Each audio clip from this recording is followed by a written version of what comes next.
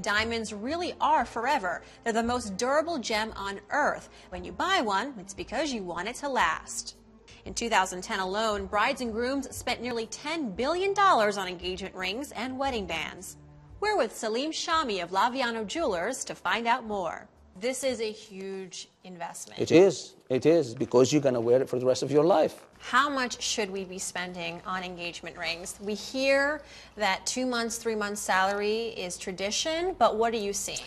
It depends on how much money you make. Don't go beyond your ability to. It depends that if you prepare yourself to spend $10,000, put that $10,000 on the side for you and make sure that you'll get the best product of this $10,000. A diamond's rarity, and therefore its price, is determined by four unique characteristics, the four C's, carat, clarity, color, and cut.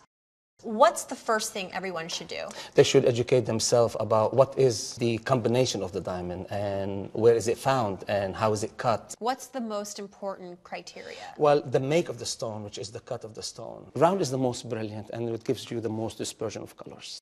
When you buy diamonds, every stone has its own certificate. This is, as, as they say, the Bible of the industry.